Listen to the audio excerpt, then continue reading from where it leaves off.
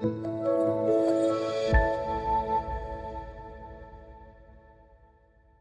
ভিয়াস আসসালামু আলাইকুম। কেমন আছেন আপনি সবাই? আশা করি আল্লাহর রহমতে আপনার সবাই অনেক অনেক ভালো আছেন। বন্ধুরা, আজকে আবার আপনাদের জন্য একটা নতুন টিউটোরিয়াল নিয়ে হাজির হয়েছে। আজকের এই টিউটোরিয়ালের বিষয় হচ্ছে মাইক্রোসফট ওয়ার্ডের যে পিকচার ইফেক্ট যে অপশনটি আছে, এই পিকচার ইফেক্টের ভিতরে যে প্রিসেন্ট অপশনটি আছে এবং প্রিসেন্ট অপশনের ভিতরে যে এখানে যতগুলো অপশন আসে, সব অপশনগুলোর কাজ কীভাবে করতে হয়, কীভাবে ব্যবহার করতে হয়, তার এ টু জেড আজকে আমি আপনাদের দেখাবো। তো আপনার ভিডিওটি কথা স্কিপ করবেন শুরু থেকে শেষ পর্যন্ত দেখবেন, তাহলে কিন্তু সম্পূর্ণ কাজটি শিখতে পারবেন। তাহলে চলুন টিউটোরিয়াল শুরু করি। তো টিউটোরিয়াল শুরু করার আগে যে রিকোয়েস্টটি আমি আপনাদের কাছে করে থাকি, আপনারা যদি আমার চ্যানেলে নতুন ভিয়ার হয়ে থাকেন, তাহলে অবশ্যই আমার চ্যানেলকে সাবস্ক্রাইব করবেন। আর আপনি যদি ইতিমধ্যে সাবস্ক্রাইব করে থাকেন আই থ্যাংকস ইউ তাহলে চলো আমরা সরাসরি কম্পিউটার স্ক্রিনে চলে যাই।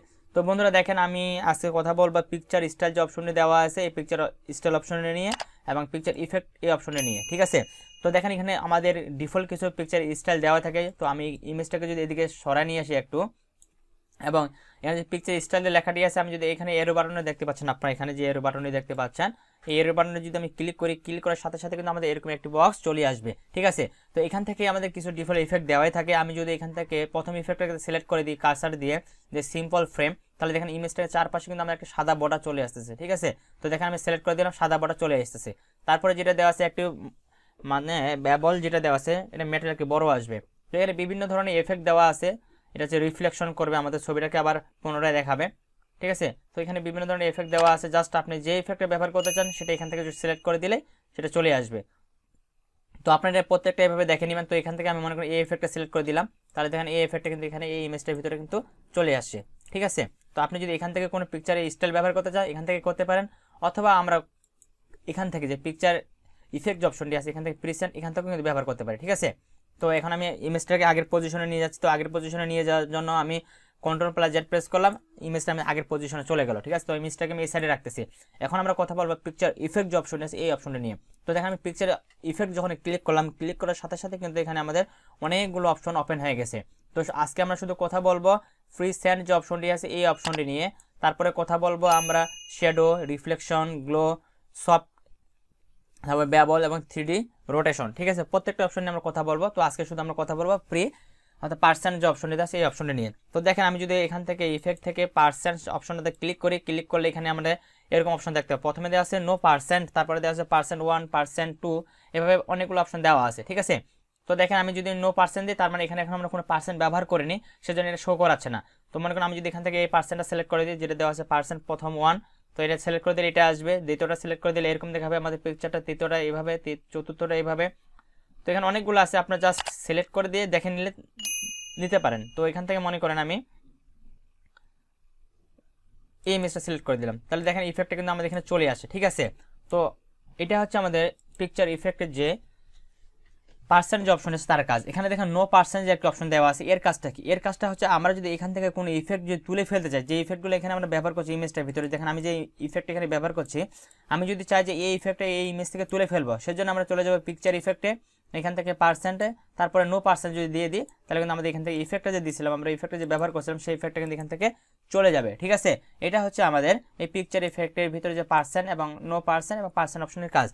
সবচেয়ে এখানকার গুরুত্বপূর্ণ কাজ হচ্ছে আমাদের থ্রি যে অপশনটি আছে থ্রি অপশনটা নিয়ে কীভাবে কাজ করে, তার প্রত্যেকটি অপশন আমাদের ভালোভাবে শিখতে হবে। তাহলে কিন্তু আমরা ইমেজের ভিতরে যে ইফেক্টগুলো ব্যবহার করে, সেই ইফেক্টের কাজগুলো কিন্তু ভালোভাবে ব্যবহার করতে পারব। সেজন্য এখন আমি আপনাদের থ্রি অপশনের কাজগুলো, প্রত্যেকটা অপশনের কাজ স্টেপ বাই স্টেপ সুন্দরভাবে বুঝিয়ে দিচ্ছি। তাহলে চলুন আমরা সেই অপশনের কাজ শিখে নিই।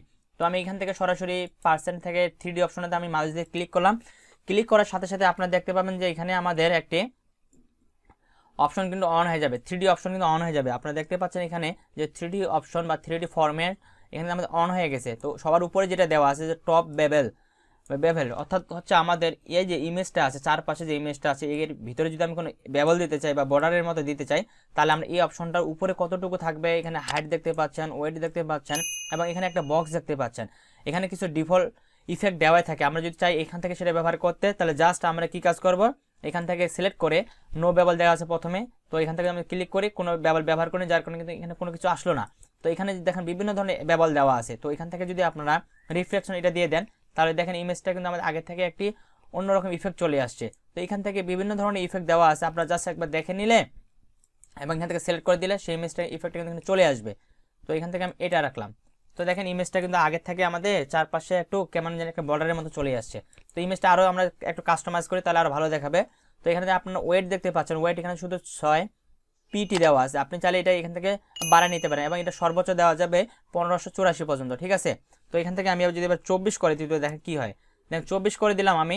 এই যে দেখতে পাচ্ছেন, এখানে একটা ছোট্ট করে যদি আপনারা লক্ষ্য করেন, এখানে একটা বক্সের মতো তৈরি হয়ে গেছে, উপরের দিকে শুধু। নিচের দিকে কিন্তু হয় নাই, শুধু উপরের দিকে। এই যে এখানে একটা বক্সের মতো তৈরি হয়ে গেছে এখানে। ঠিক আছে? এই যে দাগটা দেখতে পাচ্ছেন আপনার, এখানে একটা এখানে একটা, এটা হচ্ছে আমাদের টপ ব্যাবলের কাজ। ঠিক আছে? তো আপনি যদি চান যে এবারে হাইটটা একটু কমাই দিবেন বা বাড়াই দিবেন হাইট বাড়াতে চাইলে এখান থেকে মনে করেন আমি এটা যদি পঞ্চাশ করে দিই হাইট পঞ্চাশ করে দিলাম, তাহলে দেখেন হাইটটা কিন্তু আমাদের পঞ্চাশ হয়ে গেছে। ঠিক আছে? আর হাইটটা যদি আপনি এখান থেকে কমায় হাইট মানে হচ্ছে এই যে আমাদের দাগটা দেখতে পাচ্ছেন, এখান থেকে আপনি যদি শুরু করেন, নিচের দিকে আসেন, এই যে এ পর্যন্ত আপনার চলে আসে। এটাই হচ্ছে আমাদের ব্যবলের হাইটটাই ঠিক আছে? আপনি যদি এইভাবে কোনো ইমেজের হাইট দিতে চান, এখান থেকে জাস্ট সিলেক্ট করে দিলে সে হাইট এখানে শো করাবে। তো এখান থেকে আমি হাইটটি পঁচিশ পার্সেন্ট করে দিচ্ছি। পঁচিশ পার্সেন্ট করে দিলে স্পষ্ট বোঝা যাচ্ছে, কারণ আমরা নিচে একটা ইফেক্ট ব্যবহার করব সেই জন্য এটাকে আমি একেবারে ছয় করে দিলাম। তাহলে দেখেন নিচে থেকে কিন্তু একদম বোঝা যাচ্ছে না। এটা হচ্ছে আমাদের টপ ব্যবলের কাজ।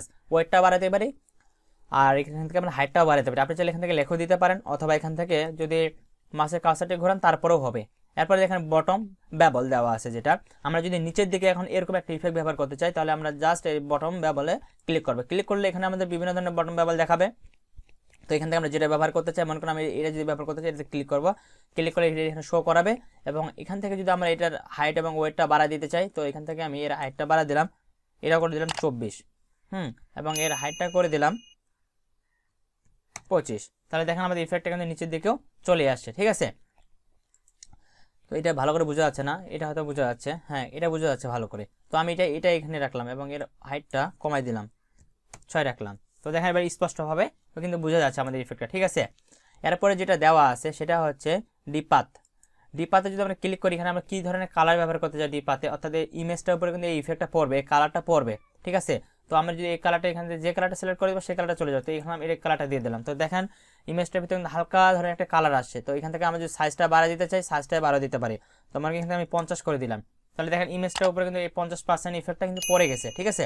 তারপরে যে আছে কন টাওয়ার কন্টাওয়ারটা যদি আমি এখান থেকে যে কালারটা দিয়ে দেবো, সেই কালারটা কিন্তু শো করাবে। এটা হচ্ছে আমাদের ব্যাকগ্রাউন্ড কালার হিসেবে ব্যবহার করা হয়, অর্থাৎ বর্ডার কালার যেটাকে বলা হয়। আমি যেটা সিলেক্ট করে দিই সিলেক্ট করে দিলে চারপাশে দেখেন আমাদের ইমেজটার লাল একটা রং চলে আসছে। তো এখান থেকে যদি আমি সাইজটা একটু বাড়াই দিই, তাহলে আপনার জিনিসটা বুঝতে পারবেন।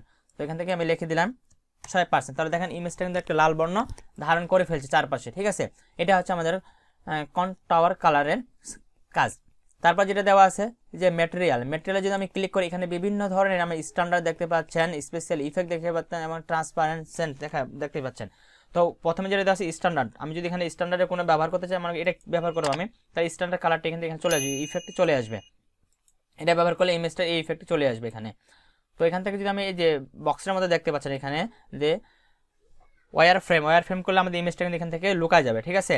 এখানে বিভিন্ন ধরনের ফ্রেম পাবো, সেই ফ্রেমটা এখানে সিলেক্ট করে দিলে সেই ফ্রেমটাকে এখানে আমাদের শো করাবে। জাস্ট আপনি এখান থেকে একটু প্র্যাকটিস করলে জিনিসটা কিন্তু বুঝতে পারবেন।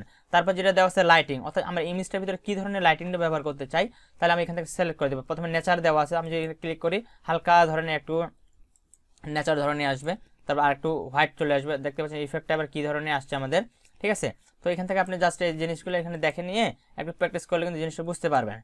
শুধু আমি একটু আপনাদের দেখাই দিচ্ছি। তো দেখেন আমি এই ইফেক্ট এখানে রাখলাম। তারপরে যেটা দেওয়া আছে, এখানে আপনি যদি বিভিন্ন ধরনের অ্যাঙ্গেলে রাখতে চান, সেই অ্যাঙ্গেলটা এখানে লিখে দিতে পারেন। তো দেখেন, এখানে আমরা জিরো অ্যাঙ্গেল আছে, আমি যদি এখান থেকে ছয় অ্যাঙ্গেল করে দিই, তাহলে ইমেজটা যে ইফেক্টটা দেখতে পাচ্ছি এখানে ছয় অ্যাঙ্গেলে চলে যাবে। তারপর যদি এখানে আমি নব্বই ডিগ্রি করে দিই, তাহলে নব্বই ডিগ্রি অ্যাঙ্গেল এখানে চলে আসবে। তো মূলত এই ছিল আমাদের যে পিকচার ইফেক্ট এবং এই ইফেক্টের পার্সেন্ট পার্সেন্ট ভিতরে নো পার্সেন্ট আমি যদি এতে ক্লিক করি আমি যতগুলো এখানে ইফেক্ট ব্যবহার করলাম থ্রি ডি মোশন বলেন আর যাই বলে যতগুলো ইফেক্ট আমি যদি তুলে ফেলতে চাই, সরাসরি যদি এখানে ক্লিক করি, তাহলে সব ইফেক্টগুলো এখান থেকে চলে যাবে।